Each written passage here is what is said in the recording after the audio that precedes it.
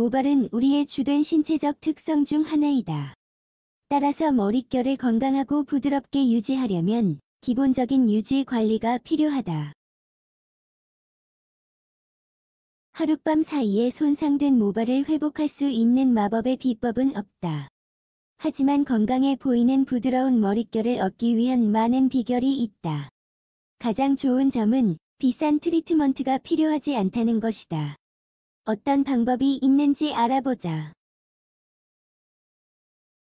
모발은 샴푸나 컨디셔너와 같은 외부 제품을 사용하는 것 외에도 활력을 유지하기 위해 다른 관리가 필요하다.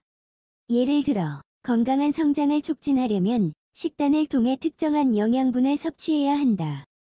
또 어떤 일을 해야 할까? 건강하고 부드러운 머릿결의 숨은 비결 많은 요인이 모발을 손상할 수 있다. 햇볕에 직접 노출되거나 화학 물질을 사용하거나 열을 전달하는 전기 기구가 그 중 일부이다. 현재 시중에는 손상에 대처하는 많은 제품과 트리트먼트가 나와 있지만 항상 이것만으로 충분하지는 않다. 따라서 식단으로 충분한 영양분을 섭취할 뿐 아니라 건강해 보이는 풍성한 머릿결을 유지하기 위해 다른 관리를 하면서 건강한 생활 방식을 따르는 것이 필수적이다. 아직도 건강하고 부드러운 머릿결을 얻기 위해 어떻게 해야 할지 잘 모르겠는가? 그렇다면 끝까지 읽어보자. 1. 자신에게 적합한 제품 선택하기 모발과 두피의 유형에 따라 헤어 제품을 선택하자. 이는 제대로 된 관리를 할 수 있는 가장 좋은 방법이다. 잘못된 샴푸와 헤어 트리트먼트를 선택하면 모발 상태가 더 나빠질 수 있다. 따라서 지성, 복합성, 건성과 같은 자신의 유형에 적합한 제품을 선택해야 한다. 또한 로릴 황산 나트륨과 같은 강한 성분이 포함된 제품은 피해야 한다. 모발과 두피에 다소 공격적이기 때문이다.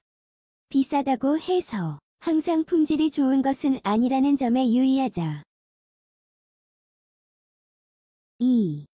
건강하고 부드러운 머릿결을 위한 찬물 샤워 관련이 없어 보일 수 있지만 찬물 샤워는 건강하고 부드러운 머릿결을 유지하는 데 훌륭하다. 잘 모를 수도 있지만 뜨거운 물로 머리를 감으면 모발의 큐티클이 열려 과도한 건조가 발생하면서 탈모를 유발할 수 있다. 하지만 찬물은 그 반대의 효과를 선사한다. 두피를 보호하고 수분 공급을 개선한다. 3. 단백질 섭취 늘리기 단백질은 모발 성장에 필수적인 역할을 한다.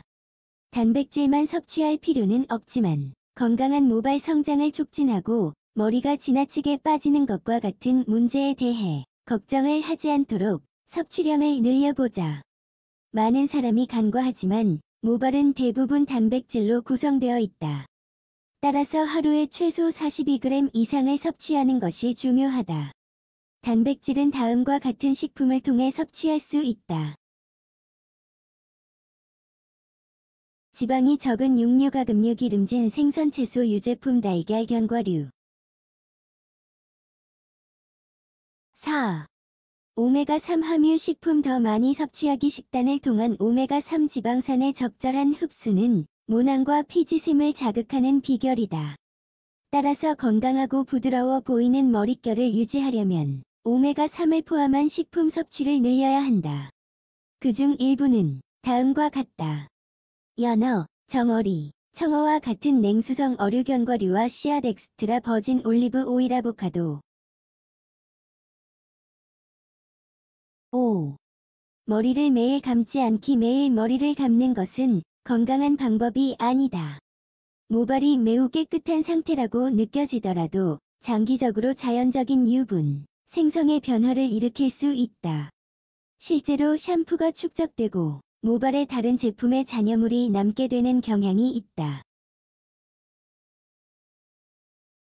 건강하고 부드러운 머릿결을 관리하려면 어떻게 해야 할까? 이틀에 한 번씩 머리를 감자. 또한 머리에 유분기가 심하게 남는 경우 드라이 샴푸나 수렴 효과가 있는 헤어 토닉을 선택하자. 6. 드라이어 및 고데기 사용 제한하기 물리적 및 화학적 처리는 모발의 구조의 변화를 일으키므로 보호 제품과 회복 제품을 사용해야 한다.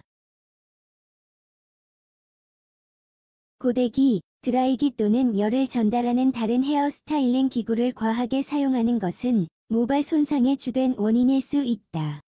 이러한 도구는 매우 정교한 헤어 스타일을 완성하는 데 도움이 되지만 분명 모발과 모낭을 손상할 수 있다. 따라서 특별한 날을 위해 아껴두고 항상 열 보호 트리트먼트와 함께 사용하자. 또한 사용할 때마다 모발의 보습 제품이나 회복 제품을 바르자. 건강하고 부드러운 머릿결을 위한 최종 비결 마지막으로 앞서 언급한 모든 방법을 보완하고자 매일 모발 관리를 할 때 고려해야 할 기본적인 비결을 소개한다. 남아있는 물기를 대부분 흡수할 수 있도록 모발을 부드럽게 감싸서 머리를 말린다. 지나치게 빗질을 하지 않는다. 햇볕으로부터 보호할 수 있는 제품을 사용한다. 모자를 써도 좋다. 손끝으로 두피 마사지를 하고 에센셜 오일을 바른다. 최소 일주일에 2회 이상 집에서 헤어 트리트먼트를 한다. 머릿결이 이윤기나 생기가 없어 보이는가? 오늘 배운 비결을 모두 활용하면 머지않아 차이를 느낄 수 있다. 끝으로 머리가 심하게 빠지거나 두피에 다른 문제가 있다면 의사와 상담을 하자. 때로는 특정한 모발 문제가 다른 근본적인 질환을 경고할 수도 있기 때문이다.